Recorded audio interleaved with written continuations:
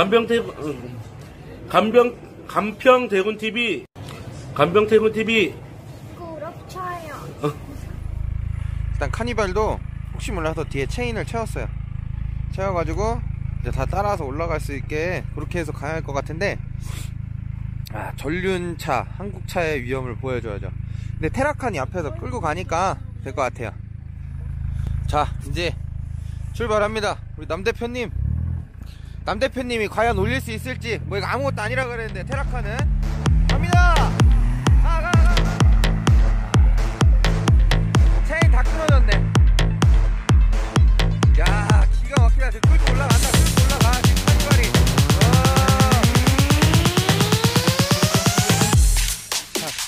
이 체인이 이게 지금 봐봐.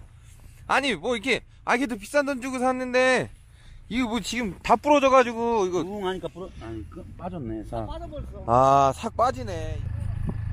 이 카니발도 차가 좀 무거운 중량이라 한 대로 테라칸으로 될 줄 알았는데 일단 두 대로 해가지고 차를 좀 밀어 올려야 될 것 같아요.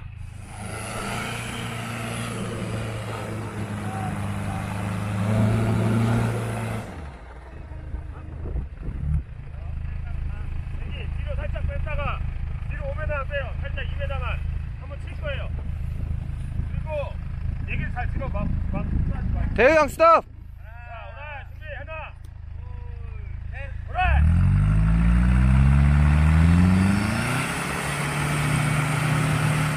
대우 형 계속 밀어요. 천천히 계속 밀어요. 앞으로.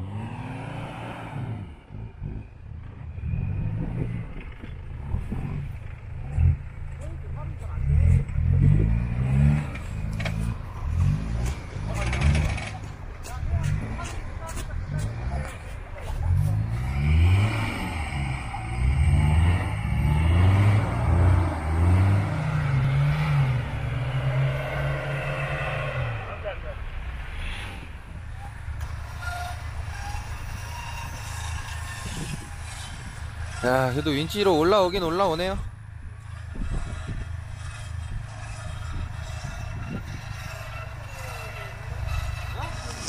아, 이 20명이 먹은 쓰레기여서 양이 어마어마하네요. 남 대표님 직접 막 분리수거까지 다 하시고 쓰레기 정리하시려고.